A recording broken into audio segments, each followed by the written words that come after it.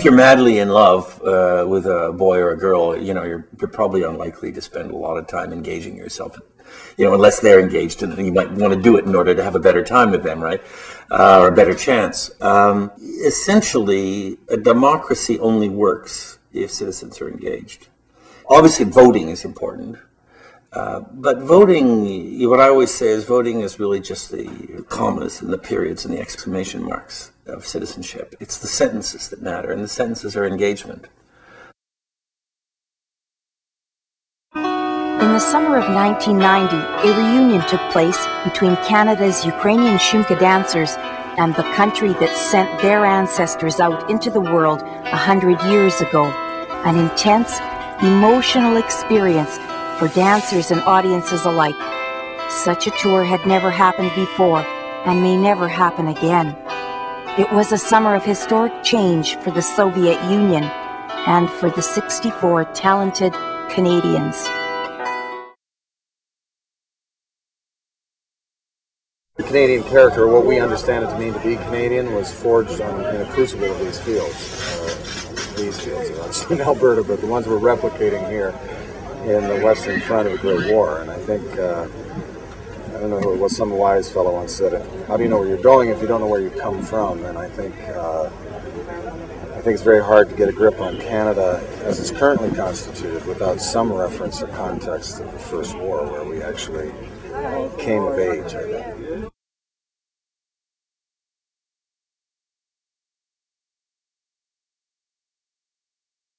Cartooning has been very important in a lot of political movements, uh, revolutions, because the average person couldn't read. So, what better way to get ideals out was with symbolism? A lot of cartoonists use nationalism in their cartoons for uh, a couple of reasons. One is personal. I'm still very proud of being a Canadian. Whenever I travel, I always have a Canadian flag on me. Whenever you use a maple leaf, it's very identifiable as Canada. There's no other country that has that as a symbol. On a, an evening show and the setting sun and the rich red as the sun hits the bottom of the airplanes, I feel the, the Canadian colors coming through. And that invokes that sense of passion and nationalism for me. I, I see many other aspects of it that the way we fly our show is very much an aerial ballet.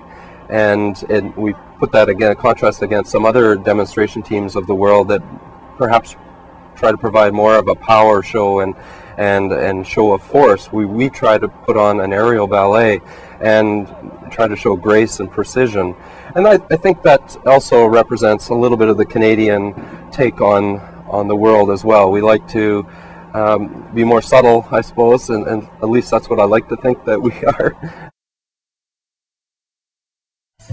And we ask the prayers with our drums in this level where we're catching the prayers inside the drum.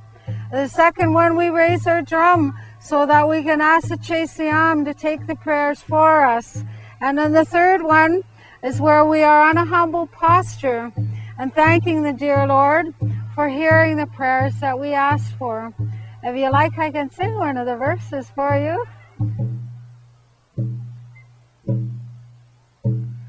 Oh no! What I carry is my mother's second cousin, Chief Dan George. I carry his uh, sacred songs to sing for the hospitals and beautiful places like these pilgrimages that I go to.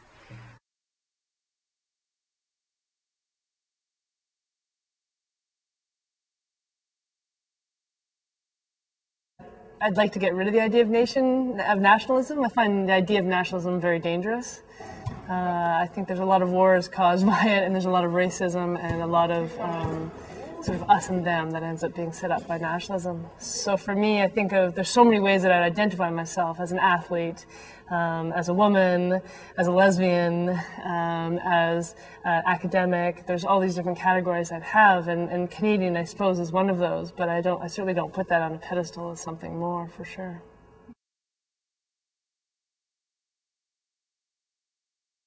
He was in France, and then he arrived here in North America and say, how come those bunch of guys are still speaking French here? And a funny French because they find we have an accent? So he wrote this wonderful song, which is uh, like a symphony. And that says, uh, C'est une langue belle qui sait la défendre.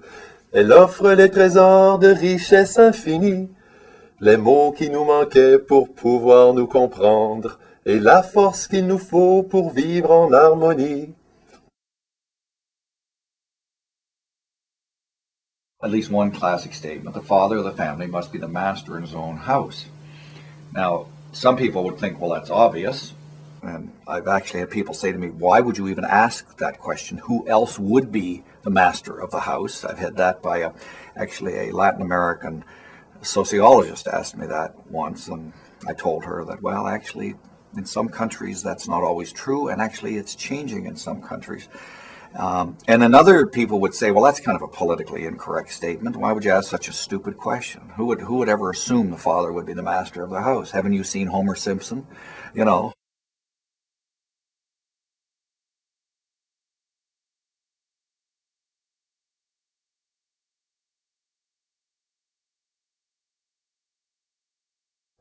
Canadians think they're the best country in the world because they don't think they're the best country in the world. I think words can be really, really dangerous. Um, I'm someone who believes in multiple stories. I believe that the more stories we have, the more different stories we have, the more powerful, the more more different things that we can be. People identify with the snowbirds as a symbol of Canadianism. And it's very interesting to be in the United States, and inevitably there are hundreds of Canadians at a United States air show, and they'll come up to us afterwards. You know, I'm from Barrie, Ontario. You know, you make me proud to be a Canadian. And we do see that, and we sense that the snowbirds have become larger than just uh, a mere entertaining function. I had the chance to go in the western part of the country where there are French minority, and I was impressed to see those French community fighting for their schools, fighting for having services in French, and I realized that their fight is also our fight, and that we have together to make sure that this country promotes French everywhere. You've got uh, Wayne Gretzky's hockey stick there. You've got a, a seat from the old Montreal Forum there. You've got a piece of the Wildcat Cafe, which is the oldest building in Yellowknife there.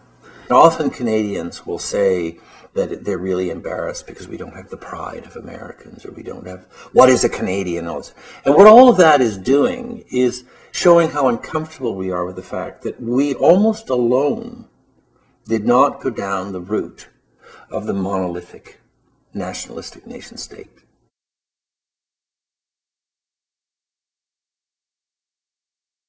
Bill 101 is the charter of the French language. So when you give to a piece of legislation the title of charter, it means that you give much importance to that legislation.